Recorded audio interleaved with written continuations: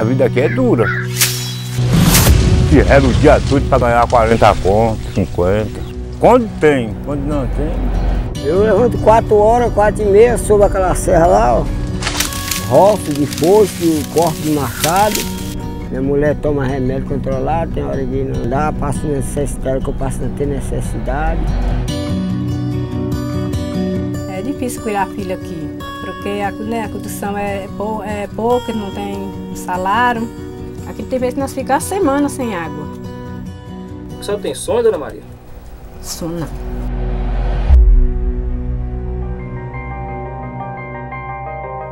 Antes da gente conhecer a região sertaneja, a gente tem na mente que lá é seco e que nada produz. Após conhecer aquilo e iniciar o nosso trabalho, a gente percebe que lá tem um potencial como qualquer região que chove. O que me motivou para aquela região foi realmente, no início a gente foi uma parte de um negócio comercial com uma empresa privada. Mas em seguida, conhecendo a realidade das famílias, nos interessamos a motivar as famílias através de um projeto, de um pensamento da agricultura familiar nessa região.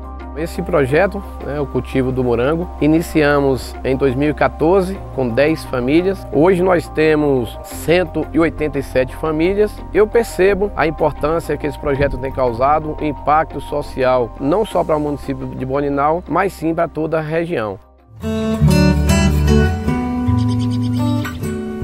Quando eu olho assim para minha rocinha, eu fico muito feliz, só tenho de agradecer. A gente trabalhava para os outros, a vida era muito cansada. A trabalhar para a gente mesmo é uma coisa assim que a gente não sabe nem agradecer, nem agradecer, porque hoje a gente anda feliz. Com a chegada do Murango aqui, a nossa vida começou a melhorar agora. Aí tá eu e meu irmão trabalhando aqui, meus filhos já tá de projeto para plantar o ano que vem. E aí muitos, quando viu a, a nossa produção, a nossa renda, estão querendo plantar também.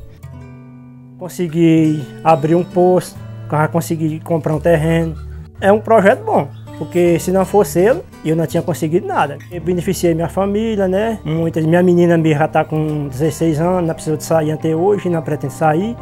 E eu tô com dois em São Paulo, que está querendo voltar já. A vida em São Paulo não é fácil, que eu sei. E hoje meus meninos vêm para cá para morar aqui comigo, é uma satisfação muito grande. Meu sonho sempre foi estar tá ajudando as famílias carentes.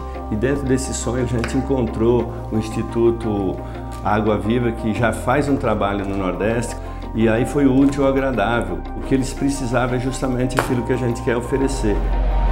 O Instituto Água Viva ele trabalha estruturado em quatro pilares. E um desses pilares é o pilar de geração de renda. Quando a gente ficou sabendo desse, dessa plantação de morango, nos interessou porque a gente quer potencializar a vida do sertanejo. Além do pilar geração de renda, temos clínicas médicas e odontológicas móveis que vão ao sertão levando tratamentos médicos odontológicos para essa comunidade rural. No pilar de esporte, ele vai ser trabalhado em relação ao caráter, a obediência aos pais, em relação ao cumprimento de seus deveres e no de Educação Complementar, ele pode ter aula de música, aula de balé para as meninas, aula de informática. O tempo ocioso a gente preenche com informações para esses alunos. Nossa proposta é fazer a implantação desses pilares que nós falamos. E para se fazer a implantação desses projetos, é necessário o apoio de empresários, de profissionais liberais, para que juntos nós possamos levar o bem para essa população sertaneja me sinto valorizado. Aqui na Bahia a gente está trabalhando para a gente mesmo. Nunca participei de uma coisa dessa, a vida da gente era muito difícil, né? Essa empresa que entrou para fazer esse contrato, mas nós, nem nós vamos arrepender, nem ela. E muita gente está querendo trabalhar com isso. Basta acreditar, é possível e eu quero desafiar você que é empresário a vir conosco, junto com o Instituto Água Viva, junto com esse projeto lindo de plantação de morango. Tenho certeza que juntos nós podemos fazer muito mais na região do semiárido. O fruto dessa união, com certeza, nos leva mais longe.